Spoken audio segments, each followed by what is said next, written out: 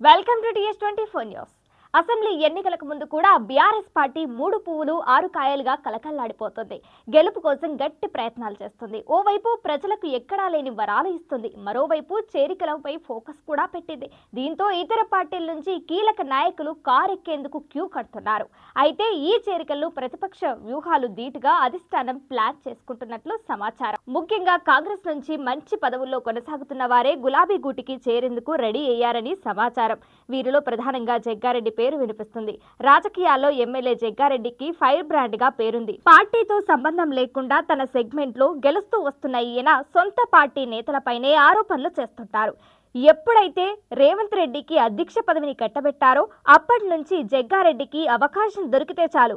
ఆయన పైన విమర్శల దాడికి దిగేవారు. అప్పుడప్పుడు మాత్రమే బీఆర్ఎస్ నేతలపై విరుచుకుపడేవారు. అంతేకాకుండా రేవంత్ రెడ్డిపై హైకమాండ్కు పలుమార్లు ఫిర్యాదులు కూడా అందజేశారు. కానీ అధిష్టానం అవేవీ పట్టించుకోకుండా పార్టీలో ఉండాలి అనుకుంటే రేవంత్ తోటే కలిసి నడవాలని లేకపోతే మరో దారి చూసుకోవచ్చు అని తేల్చి చెప్పింది. ఇక దీంతో గత కొద్ది రోజుల నుంచి జగ్గారెడ్డి సైలెంట్గా ఉంటున్నారు. అంతేకాదు హస్తం పార్టీ కార్యక్రమాల్లో ఆయన ఎక్కడా కనిపించడం లేదు. మరోవైపు అధికార పార్టీ వైపు కూడా ఎలాంటి ఆరోపణలు చేయడం లేదు. దీంతో ఆయన గులాబీ కండువా కప్పుకోబోతున్నారంటూ ప్రచారం ఊపందుకుంది.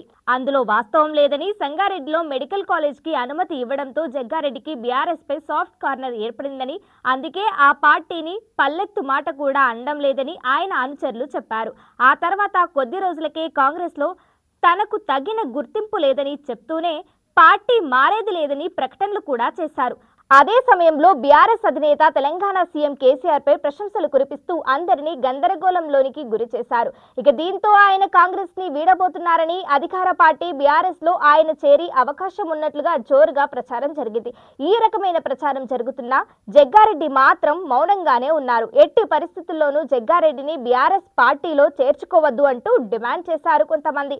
ఇక జగ్గారెడ్డి చేరికను అడ్డుకునే వారి సంఖ్య రోజు రోజుకి పెరుగుతూ వచ్చింది. ఇక దీంతో కొద్ది రోజుల పాటు ఆ చేరికల ప్రచారం ఆగింది. తాజాగా మరోసారి ఈ ప్రచారం తెర మీదికి వస్తోంది. ఇక తెలంగాణలో కొనసాగుతున్న అసెంబ్లీ సమావేశాలకు హాజరైన జగ్గారెడ్డి కేటీఆర్ను కలిశారు. ఈ మేరకు కేటీఆర్ చాంబర్ వద్దకు వెళ్ళిన జగ్గారెడ్డి ఆయనతో భేటీ అయ్యారు. అయితే గత కొంతకాలంగా కాంగ్రెస్ పార్టీతో అంటీ ముట్టనట్టుగా జగ్గారెడ్డి వ్యవహరిస్తున్న విషయం తెలిసిందే.